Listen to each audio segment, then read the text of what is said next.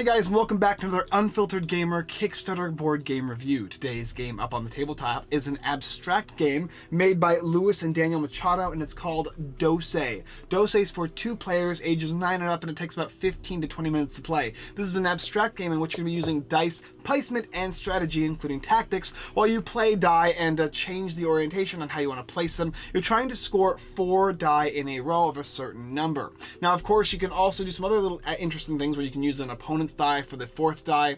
And you can also score whether it be diagonal, up, down, left, or right. You'll also be getting additional little different kinds of things like this little token here or this little cube that can block your opponent's movements that you can place uh, in addition to your turn, including a normal die. And then, of course, the scoreboard. You'll be using a little grid tracker, and you're going to be trying to place down as best as you can. And you want to win as fast as you can as well. There's a variety of different ways to score points at the end of the round, but in order to score points, you must win. Anyway, that's the basic idea of the game. Let's go down below and I can show you the components and help you make sense of what I'm explaining. So here you have the game DOCE and everything included, and as you can see, you're going to be getting a grid-like structure, which is going to be a 5 by 5 You're going to get two sets of die, one one for each player, and then you're also going to get a blank die or a blocker. These little pieces here are what are going to be put on top of your die, which is going to be the last die that you placed, and so it keeps track of that and it also involves certain aspects in the rules. You're going to get a score tracker for your colors here, so if you were uh, 51 points, you'd put one on the 50 and one on the 1, and you get for one player and, of course, for another player. And you play different rounds throughout the game, so you're going to increase the score up to whatever you want, basically. This is the rulebook for the game, and of course, course, the box, and pretty much everything you get in the game. All right, let's come up and I'll explain how a turn works and how we're going to be putting these guys into this board here to win the game. So to begin a game of DOCE, you're going to simply be taking all of your die, including a blocker. You'll be taking this little uh, see-through chit here, and then you're going to set your point tracker at zero. The youngest player is going to get to go first, and on your turn, you're simply going to take one of your die, arrange it in whatever to whatever number you want, one through six, and place it on the board anywhere you want as well. After you do that, you're going to take your little chit and place it on top of your die because that was the last die you placed. After that, your opponent is going to get a chance to play. They'll place their little die on the board. You can never place adjacent to the last die played. And on your turn, you're also able to utilize your blocker on the board, uh, but you can only utilize one. And after that, that is it. You're trying to get four uh, dice in a row that equal 12. And also, if you don't happen to have four, but you have three, and your opponent has one, if that also equals 12, you can win the game as well, which I'll explain down below to make more sense. You're trying to win as fast as possible, and you want to score with all of your dice, and uh, have as many blank spaces left on the board. And if you don't use your red die, your red die or your blank die here, you'll score even more additional points. You'll add up your points at the end of the round, provided that you won, and then you go ahead and play again, alternating between the players. Once you get certain uh, point allocation, whether it be 50 points or 100 points, that will end the game of DOCE, and then you can simply go ahead and play again if you want. Anyway, let's go ahead and take you down below, and I'll show you a couple of turns of the game, so you'll get an idea of how to play it. So here we are back to the game DOCE, and it's set up for two players, and as you can see, there is the white over here and the black over here. We don't need the rules or the box, so we'll move those aside. We'll ahead and set up for uh, the black and the white player to have zero points, and then of course the tracker here. First, you'll start off with a player, usually the youngest player will go first, and they will take one of the dies and they will place it in any um, space that they want, along with whatever number they want, 1 through 6. When they put it on the board, they're then going to select their marker and cover that die up. That's going to represent the space they last played, as well as the fact that nobody can play adjacent to the spaces in which this die is specifically played.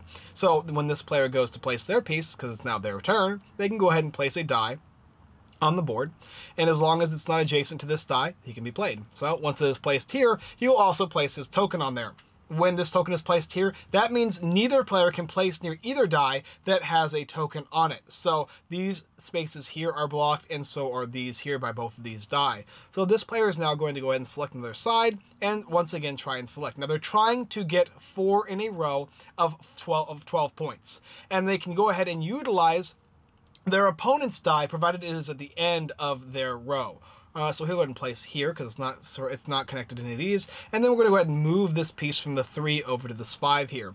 Now it's the next player's turn, and once again we will continue. So for instance, this player here may want to go ahead and select, mm, let's go ahead and select this space here with a 4 and then he will go ahead and move this piece here. And the game is just going to continue like that. It's pretty simple. Another interesting thing to note is that these can be played on your turn as a free action to block a space in which your opponent normally place down, and of course it can ignore the rules regarding the basic die placement. Now, in order to win the game, I could simply go ahead and place right here. This is a 4, 5, and 4, which is 9, 10, 11, and 12. So in this case, no die can be placed here either anyway, just to win the uh, to win the game uh, regardless. So placing that 4 there was a good idea for black.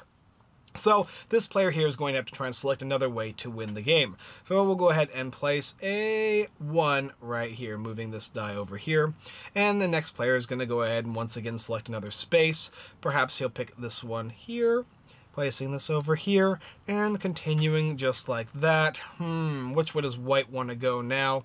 White will go ahead and select uh, this 4 over here and place this over here. And now it's black's turn. Now black realizes now that this space can win white the game. It's got 4, 5, 6, 7, and an 8 here. However, uh, black can't play in these spaces here. So because of that, uh, black is going to go ahead and use his uh, red piece right there and block that space off, and then continue his turn by placing a die somewhere. Perhaps he'll place it right here and simply putting this over here. Back to White's turn now. White has lost the ability for that space to be played in, uh, but he can go ahead and select another space if he wants. And mm, he's probably going to go ahead and select this one over here, and he'll put a 2 right there. Putting that like that. Putting black back in the... Uh, the defender's zone. As you can see, we have five, six, seven, and 8.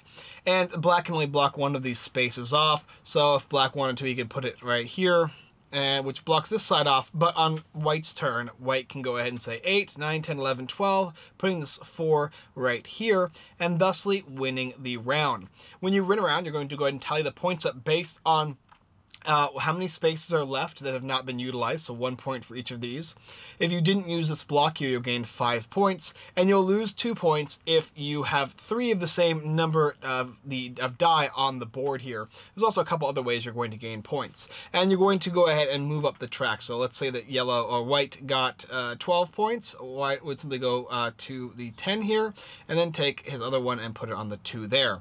After that would happen, you go ahead and take off all of these things, and you start another round. You can continue playing the game.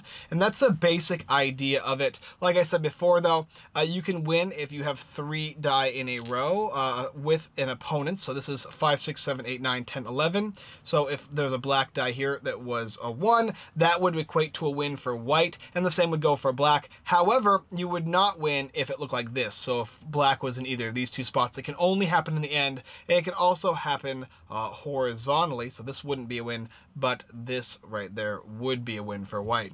And that's the basic idea of the game. DOCE, you play multiple rounds up to a certain amount of points, whether it be 50 or even 100 points, and uh, that is how you play the game. So let's come up and I will tell you what I think about the game and any final different notes I want to add. All right, so let's talk about DOCE and whether I have any caveats. I think the only one I have is you're going to gain more points in the game by having less spaces filled in. You'll gain more points by not utilizing the red marker, as well as you're going to gain more points by having all four of your die as opposed to your opponent's die. There's a scoring system over here that shows you exactly how you're going to score the points. You want to be careful not to use too many of the same type of uh, pips on a singular die. Uh, three of them is going to get you minus two for each of those.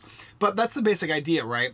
when I first, so this is actually a retake, and the reason why it's a retake and why I already have the video up and it's now up again is because I missed an important and interesting rule. It was a very simple one, but it made a big difference. And that rule is that when you place your little red marker on your die here, you cannot place around it, right? I said that but you can't place regardless of if it's yours or your opponent's. So any of the dies that are marked on the board that have one of these red markers on it, you can't place adjacent, including your own. So you can't instantly just go ahead and make four in a row because you're going to be blocked by your own die, which changes it up quite a bit. Now, I'll say the same things I said previously, which whether you watch the video or not, the components of the game are rather nice. I'm excited to see what it's going to look like at in the end because there are a couple of things like the scoreboard here and the, the, the the, the board here, which could be probably a little nicer, I suppose, as well as some of the chits for the, the uh, scoring. However, overall, it's rather nice. I like the quality, I like the feel of the dice, I like placing the die. So it's nice. Uh, there's not a huge amount of artwork and there's not a huge amount of theme in this game. So if you're looking for theme and artwork, this is not the game for you. It's also an abstract strategy game. It's two players. So if you're looking for a larger multiplayer game, also not a thing for you. And uh, as far as the uh, placement goes, it's going to feel rather similar to games like checkers and chess, uh, but probably a little more strategy than chess than checkers, probably a little less than chess. And of course, the idea is placing down to score four in a row. It reminds me of a Connect Four, but it's a more deep tactical strategical game involving placing your die on this grid here. Uh, as we played this game the first previous times, I really enjoyed how it was played. It was nice, but once I added that additional rule in, it became even nicer. So actually the uh, the previous review was slightly wrong only uh, in the fact that this is actually even more engaging and more fun because now you can actually instead of placing them straight up in a row uh, you have to actually account for where you're placing and where your opponent is placing. And of course the red marker to block off dies is rather nice as well. It gives you the ability to protect yourself from a wrong move or to set yourself up for a later turn. It's also still nice the fact that you can have additional rounds throughout the game in which you can continue to get score more and more points and you can choose whatever amount of points set is best for you. Overall, it's a very nice strategical game that actually has a quite a lot more thought in it than I originally uh, anticipated it to have.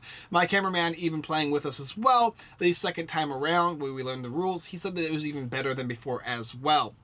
Overall, I'm giving this a high uh, high review. I really enjoyed this game. If you're looking for a deep strategical two-player game that's quick and easy to learn, like there's only the rulebook's only like four pages, so it's rather easy and really quick to learn. I would highly suggest checking out DOCE. It's fun. I enjoyed every moment of it, and especially as I continue to play the game, I start to see how more tactical you can get as you continue to play. And in fact, actually, once my cameraman noticed, noticed the other rule, he said the only problem he had with the game previously was the fact that you could kind of place in a row, but now you can't even do that, so he even likes it more. In fact, he was stomping me over the last couple games, so during him. But yes, overall, DOCE, super fun, nice abstract game. If you like abstract games, definitely check this out. My seal of approval, one of the best abstract games I've played this year. Thank you guys for watching another Unfiltered Gamer board game review. If you're interested in checking out more of our videos, go ahead and do so on uh, YouTube right now, as well as checking our website, unfilteredgamer.com. We have a lot of blog posts, giveaways, Kickstarter lists, and more. And don't forget to check out the game DOCE, a really fun little abstract game for those abstract players. If you're not an abstract player, it's probably not going to entice you, but for those of you who like that two-player back-and-forth uh, strategy, you're going to enjoy this game. Also, go and check out our friends, everythingboardgames.com and The Giveaway Geek, giving away a couple good games right now, as well as my own site. We're giving away two right now, one of them being Utter Nonsense, and the other one being the uh, How Game Are You? And we'll likely be giving away Rank Busters if everything goes well this week. That's all I got for you this time, and as always, guys, I look forward to playing some dice with you next time.